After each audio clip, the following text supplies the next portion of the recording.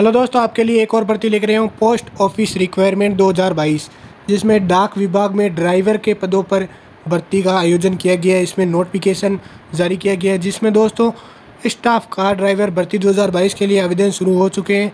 इसमें ऑनलाइन आवेदन करने की अंतिम तारीख सात मई दो हज़ार बाईस रखी गई है। आप अभी भी आवेदन कर सकते हैं सात मई तक।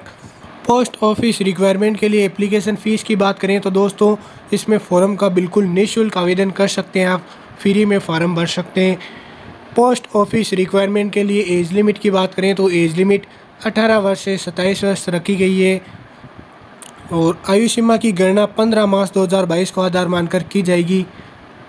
पोस्ट ऑफ़िस रिक्वायरमेंट के लिए एजुकेशन क्वालिफिकेशन क्या चाहिए?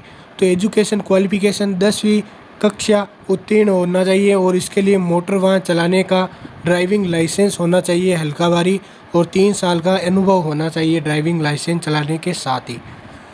पोस्ट ऑफ़िस रिक्वायरमेंट के लिए डॉक्यूमेंट, पोस्ट ऑफ़िस रिक्वायरमेंट आवेदन करने के लिए आवेदन पत्र के साथ अपने सभी शैक्षणिक दस्तावेजों के साथ फ़ोटो, प्रति जन्म तिथि प्रमाण पत्र ड्राइविंग अनुभव प्रमाण पत्र जाति प्रमाण पत्र ड्राइविंग लाइसेंस, टेक्निकल क्वालिफिकेशन नवीनतम दो पासपोर्ट साइज़ फ़ोटो एक फ़ोटो अपने आवेदन पर चिपकाना और दूसरा फ़ोटो संलग्न करना है।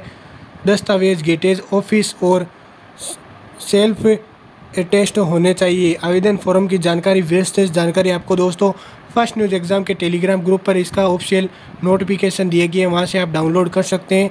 या वीडियो के नीचे डिस्क्रिप्शन में भी दिए गए हैं, वहाँ से आप डाउनलोड कर सकते हैं। और दोस्तों भर्तियों से रिलेटेड फ़र्स्ट न्यूज़ एग्ज़ाम को लाइक करें और सब्सक्राइब ज़रूर करें। यहाँ पर एग्ज़ाम डेट, परीक्षा तारीख और न्यू न्यू फॉरम आपके लिए मैं लेकर आता रहता हूँ।